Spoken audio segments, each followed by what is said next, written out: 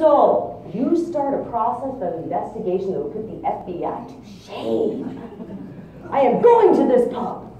And so you start looking. You start looking at reviews. You look at all the celiac websites to see if possibly they could be on there, but of course they're not because they're a pub.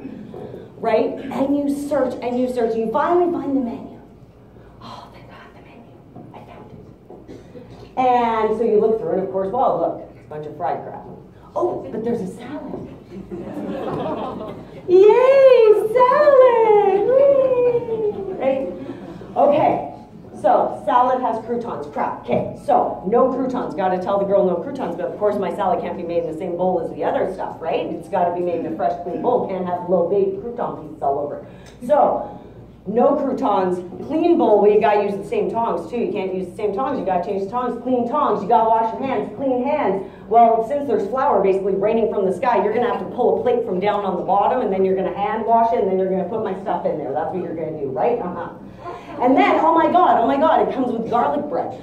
Okay, so no croutons, clean bowl, clean tongs, clean plate, clean hands, no bread, but wait, what if they just out of sheer muscle memory put the piece of bread on the side of the plate and then remember that it's no bread and then take it off and you didn't see any of that.